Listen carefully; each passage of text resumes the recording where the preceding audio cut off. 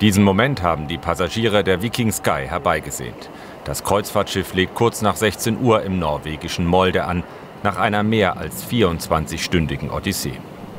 Gestern gegen 14 Uhr gerät das Schiff durch einen Maschinenschaden in Seenot. Die Viking Sky ist mit fast 1400 Passagieren und Besatzungsmitgliedern auf dem Weg ins norwegische Stavanger. An Bord spielen sich dramatische Szenen ab, die viele Passagiere mit ihren Handys filmen. 20 Menschen werden verletzt, drei von ihnen schwer.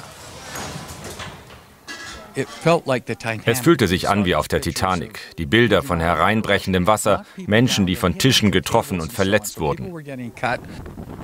Die noch nicht einmal zwei Jahre alte Viking Sky droht durch den Sturm auf die felsige Küste gedrückt zu werden. Eine Stunde nach dem Mayday-Signal beschließen die Rettungskräfte, das Schiff mit Helikoptern zu evakuieren. Für eine Rettung von See aus sind die Wellen zu hoch. An Bord sind viele ältere Passagiere, die meisten von ihnen aus den USA. Zwei kommen aus Deutschland. Mehr als 470 werden an Land gebracht. Der härteste Moment war, in den Helikopter zu kommen, nachdem sie uns hochgezogen hatten. Aber die Crew war wirklich sehr professionell. Einfach großartig. Der Mannschaft gelingt es schließlich heute früh, drei der vier Motoren wieder in Gang zu setzen. Die Viking Sky erreicht aus eigener Kraft den Hafen von Molde.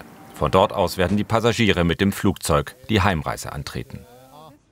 maybe on